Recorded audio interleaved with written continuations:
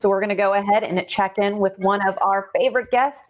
Well, I say favorite guest, but he always has the cute little animals with him. And I know he's got another one.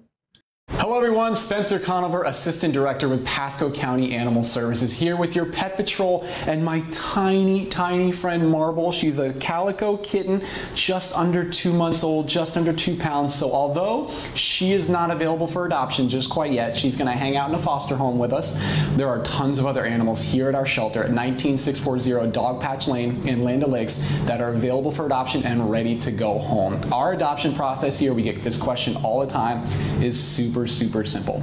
Come into our shelter. We have a small process that you have to go through, some minor information, but guys, most of our adoptions happen same day. All of our animals that are up for adoption are already spayed and neutered, they're already vaccinated, they have their rabies shot, microchip implant, pet license, and they're ready to go that same day.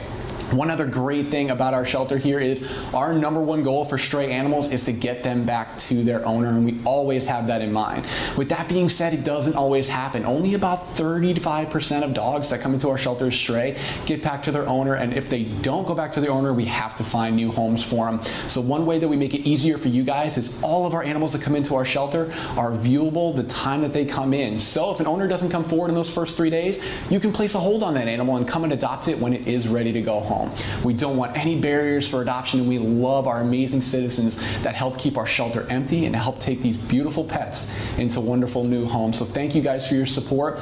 Right now, we're asking everyone to come in and make an appointment before they visit, but we want to see you guys soon, and there's tons of spots available. Head to our website, www.mypasco.net slash PAS, Pasco Animal Services, and the big button on there right up front is online scheduling. Make your appointment for adoption. We're open five days a week, Tuesday through Saturday. Friday and Saturday, we're open until 6.30 at night, so no excuses. Come on down and see us, and we can't wait to see you guys in Land Lakes at our adoption center to take home your new family member soon. Thanks so much.